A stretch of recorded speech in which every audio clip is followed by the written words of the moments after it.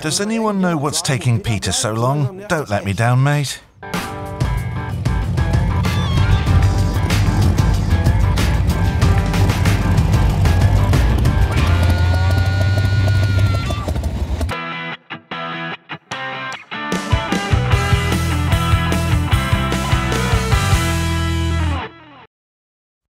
Now that Peter is gracing us with his presence, hello everybody. In our last episode, we have explained how to diagnose defective shock absorbers and how they affect your car behavior.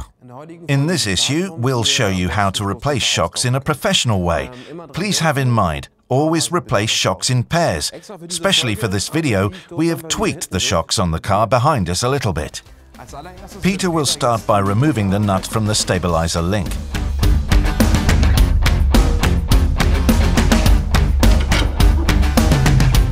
Then we'll have to get the surrounding parts out of the way, such as these wiper arms.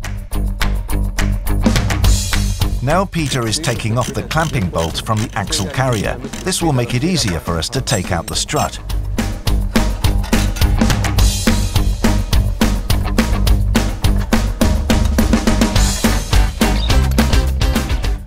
What we're going to do next is remove the axle nut and unplug the ABS sensor. After that, we're going to drive the joint out and eventually remove the bolts from the support joint. This makes it easier to remove the wheel carrier from the shock.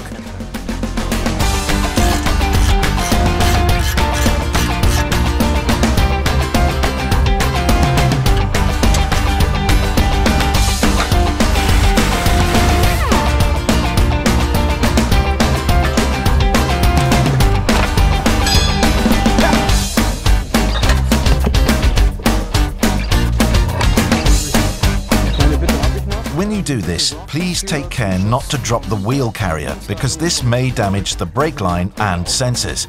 You may use a gearbox lifter the way we've done here, or if you lack special equipment, some wire will do as well.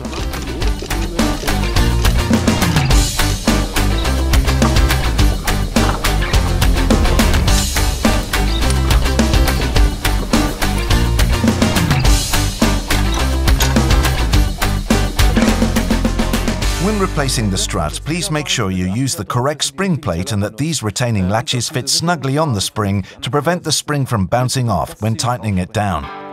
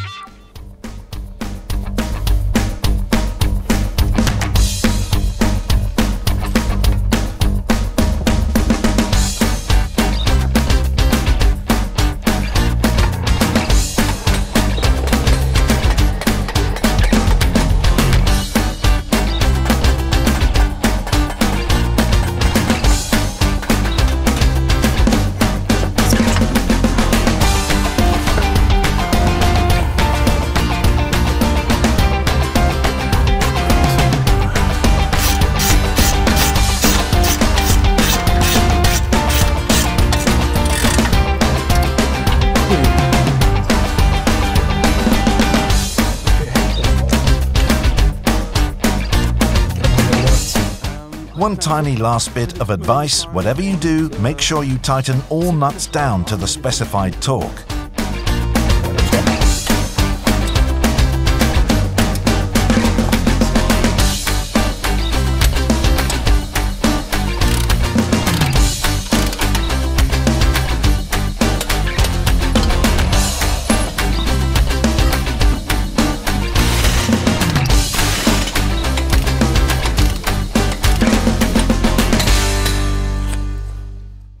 This MEYLE original shock absorber comes in 650 different types to cater for some 214 million vehicles throughout The Europe. The piston rod of this shock features a special protective coating which was applied using an electrochemical process. That's right, this finish effectively protects the part against salt, dirt and moisture.